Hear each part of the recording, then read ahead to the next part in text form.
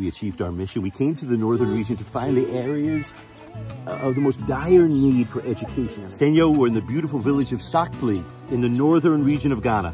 Children in this village do not go to school because they have to walk six miles to the nearest school. This has always been my dream.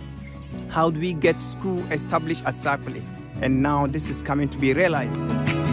Another six o'clock is here.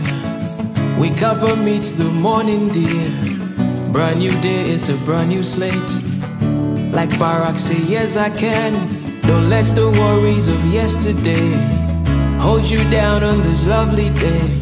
We'll be very happy and the people of Sakpali do not even know how to receive this particular news. We are so excited and we are very grateful to Hope for Ghana.